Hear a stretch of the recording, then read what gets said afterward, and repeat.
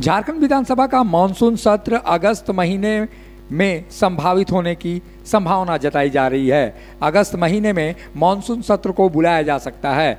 झारखंड विधानसभा के अध्यक्ष रविंद्रनाथ महतो ने यह बताया है कि झारखंड में कोरोना संक्रमण के रफ्तार में काबू आने पर अब झारखंड विधानसभा की कार्रवाई पर भी विचार किया जा रहा है। इसके लिए तैयारियाँ जोरों पर हैं। और आने वाले दिनों में तैयारियाँ पूरी होने के बाद और कोरोना संक्रमण की जो रफ्तार है, वो कम होने के बाद निश्चित रूप से ये कहा जा सकता है कि आने वाले दिनों में मानसून सत्र को जल्द ही झारखंड सरकार आहूत कर सकती है। विधानसभा अध्यक्ष जिस तरह से संभावनाएँ जता रहे हैं कि अगस्त के महीने में हो सकता है कि झारखंड विधानसभा का अल्पकालीन मानसून सत्र बुलाया जाए। ऐसे में झारखंड सरकार के कई विधायी कार्य भी यहाँ पर संभावित हों और आने वाले दिनों में हो सकता है कि मानसून सत्र में सरकार कई बिल भी ला सकती है। ऐसे में इंतज़ार है झारखंड विधानसभा के मानसून सत्र का।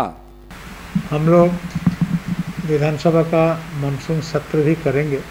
खाली हम लोग इंतज़ार कर रहे हैं कोविड के बारे में। अभी राज्य सरकार के सफल प्रयास के चलते कोविड संपूर्ण रूप से नियंत्रित होने जा रहा है।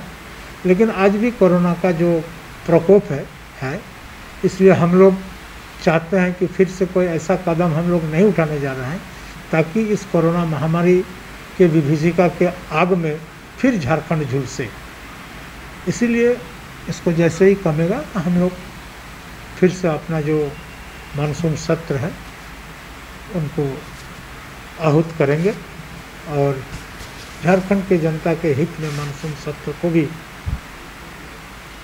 हम लोग सफल बनाने का काम करेंगे। सर एक मामला है।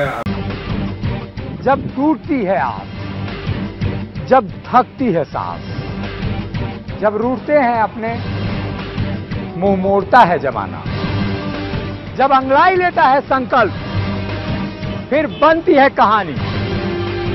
बनते हैं अनमिट निशान। देखिए मेरे साथ संघर्ष की दास्तान।